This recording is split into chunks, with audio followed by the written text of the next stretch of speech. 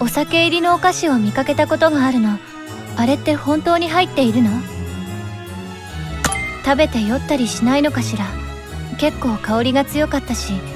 大丈夫なの？ねえ。心なしかあなたの表情が微笑んでいるような気がするんだけど私が酔って乱れるのを期待してないでしょうね。優しいのね。でもせっかく興味を持ったのだから今度勇気を出して食べてみるわ。これはどうなのかしら。美味しかったら他の子にも勧めてみるわ。まああなたからって聞いたら味なんて二の次でしょうけど。